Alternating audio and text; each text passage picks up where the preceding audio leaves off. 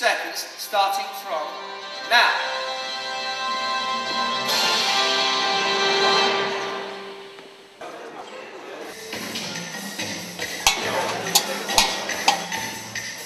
Mr. Marshal of uh, Voivod, Voivodship Pomerania, Mr. Mayor of the Gdańsk City, dear colleagues, dear friends, it's a great event. Of course, great because we know how big challenges are today in front of us, in Europe, in every one country.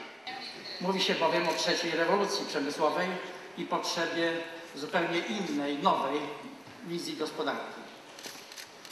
Myślę, Szanowni Państwo, że Gdańsk, że województwo pomorskie to dobre miejsce do rozmawiania o pokojowych rewolucjach i nowych wizjach. Na nas spoczywa obowiązek, powinność zmiany na lepsze, uczynienia naszego regionu, Europy Bałtyckiej jeszcze bardziej przyjaznym dla człowieka, dbania o zrównoważony y, rozwój. Ale właśnie poprzez rozmowę, dialog, wymianę doświadczeń jest to możliwe, tak abyśmy tworzyli wspólnotę myśli. We should remember, crisis means lack of demand. Who can win in the time of crisis? Is more competitive? Competitivity means innovation. Innovations, new technologies. It is also answer for our crisis, not only for climate change issue or energy issue. Leading to the uh, definitions of sustainability, then you can find many of them. And a lot of them are mainly around environmental aspects. We concluded that if you are talking about sustainable development in a city, if you want to integrate your innovations in the city, you have to talk about more.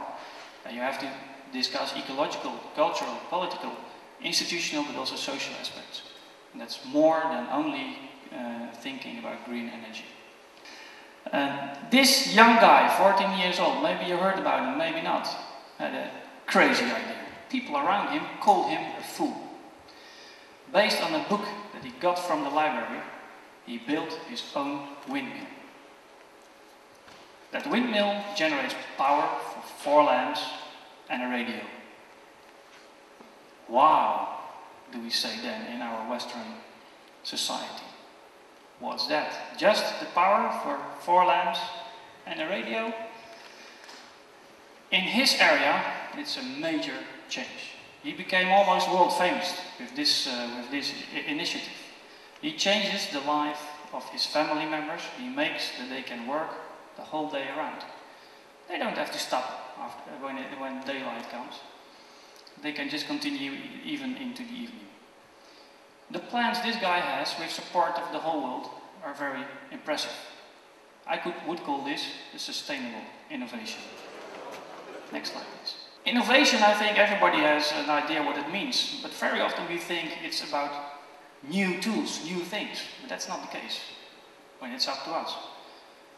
Combining existing things, organizing things in a different way, coming up with a new business model, we already heard it this morning, to us, it's all innovation.